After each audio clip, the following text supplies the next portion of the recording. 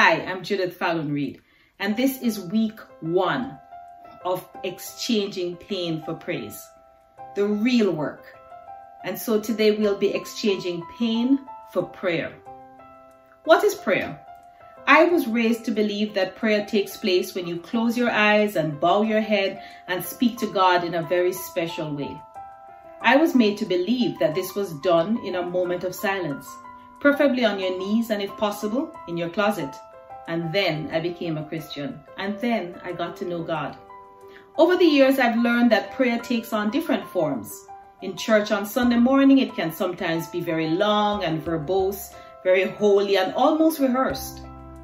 In the face of an impending car crash, it is quick and earnest. Before a dying loved one, it is gut-wrenching and pleading. And in response to a salary increase, it is praise-filled and excited.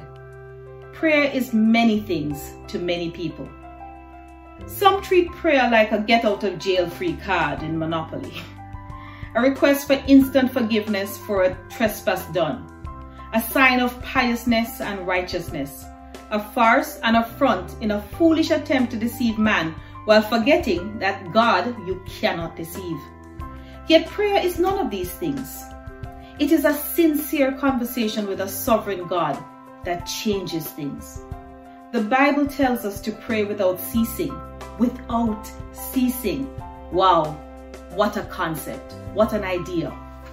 Living your life in a constant state of prayer is an awesome thing forever in a state where you are mindful of the presence of God and the fact that he hears and speaks in all circumstances at all times. A conscious knowledge that he is truly everywhere at every time and that there are no barriers to reaching him or hearing from him except those that we create through our own thoughts and our own behaviors.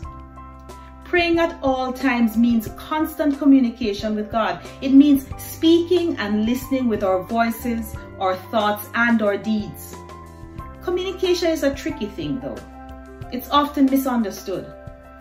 True communication requires understanding. A thought misunderstood is a thought miscommunicated.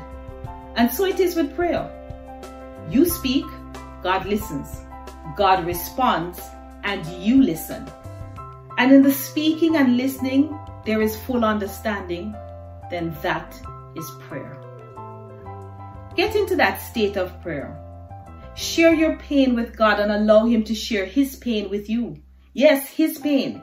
His pain that comes from seeing you live a life less fulfilling than what He planned. The pain of watching His creation stumble and fall despite the boundless love he pours out every day. Reason with God. Do more than simply send up supplications and complaints. Share with him your small joys and allow him to share his small joys with you. The joy of knowing that you took the time to share with him the way you do the way with your friends, on social media or in the workplace. The joy of knowing that you took the time to share with him the way you do with your friends on social media or even in the workplace. Incorporate your conversation with God into every aspect of your life. When you bite into a sweet fruit and you smile with delight, tell him how it tastes and how happy you are that he made that specific fruit just for you to enjoy. And when you complete the work project that you thought you could never finish, invite him into the celebration. God takes pride in our accomplishments. He laughs with us when we're happy. He cries with us when we shed our tears. And He loves to hear us sing. He desires to be in our every moment if we only let Him. He loves speaking with us too, and He delights when we listen and respond. He loves conversations. God loves relationship if you can begin to think of God as your Father and not just your Heavenly Father sitting on a throne looking down and speaking with a deep voice from the clouds like James Earl Jones, but as your daddy, Papa, then you will see how easy it is to develop this relationship of, with God of which I speak. Then you won't think of God as a genie whose belly you can rub when it suits you to get three wishes nor as an ATM card that dispenses blessings at will.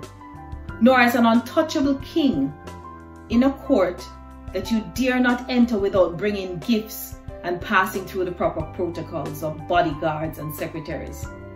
Instead, you will see God as sovereign yet down to earth with his people, gracious and sympathetic towards your plight, and accessible at all times to those whom he calls sons and daughters. As you grow more comfortable with the idea that praying doesn't mean close your eyes, clasp your hands, but instead it means a relationship with a real God in whose image and likeness we were created.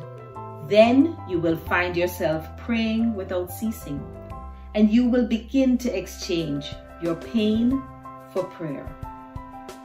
Your thought at the end of this meditation is prayer is the chord that rings the bell that gets God's attention.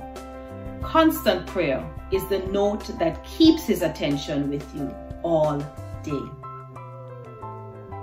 I'm glad you're taking this journey with me, exchanging your pain for praise. Check out my website, J. Falloon-Reid. Check me out on YouTube or find me on all my social media platforms. I'd love to hear from you.